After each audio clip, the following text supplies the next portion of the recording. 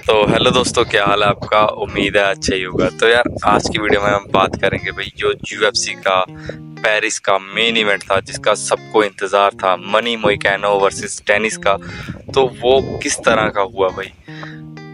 कमाल था। मतलब टेनिस ने बता दिया कि भाई यूएफसी में जो आते हैं, वो वॉरियर्स ही आते हैं, उसके अलावा यूएफसी में किसी और की जगह नहीं है। जी, और मनी मोइकैनो ने ये प्रूव किया अपनी फाइट से कि यार वो एक आने वाले लाइट वेट चैम्पियन बनेंगे।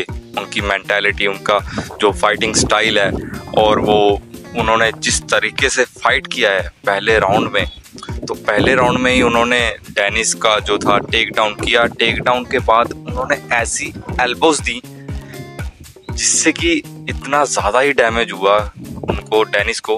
तो वो हमें पहले ही राउंड में पता लग गया था भाई कि ये फाइट वन साइडेड होगी अगले चार राउंड में।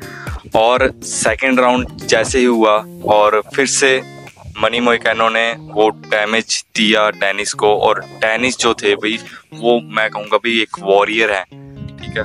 वो एक फाइटर है रियल फाइटर है।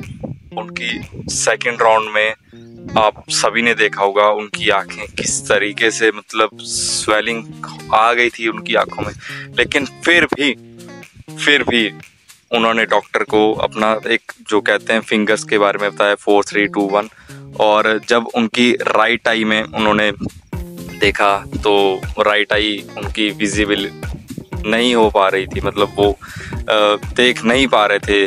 अपनी राइट आई से लेकिन फिर भी वो फाइट करना चाहते थे। तो इससे पता लगता है कि भाई उनका जो है मेंटल स्ट्रेंथ कितनी ही ज़्यादा हार्ड है भाई वो कितने ही ज़्यादा इलीट ट्रेन करते हैं अपने आप को।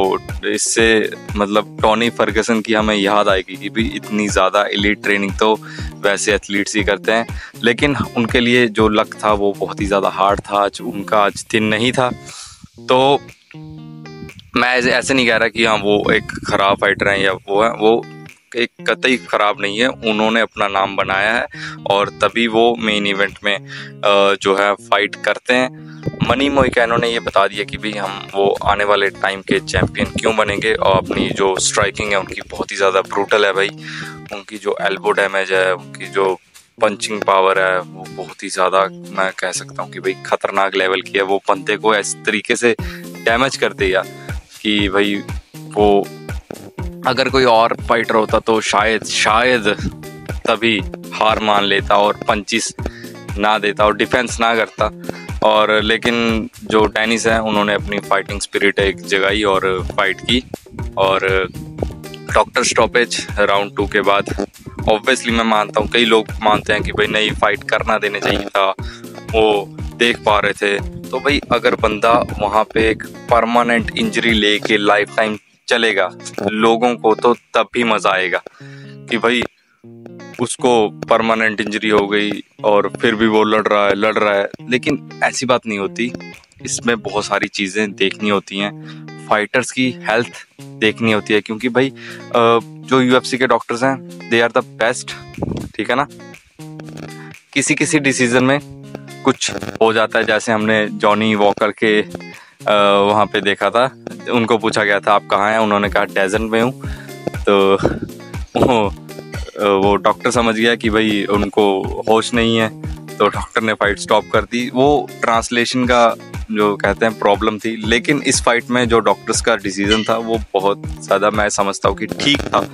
और टेनिस की हेल्थ के लिए भी। और उनकी आई की जो सेफ्टी के लिए भी ये डिसीज़न ठीक था, क्योंकि उनको भाई अगर वो और फाइट करते तो आप सभी को पता है कि कितना ज़्यादा डैमेज वो कैरी कर सकते थे। शायद एक साल वो फाइट ना कर पाए।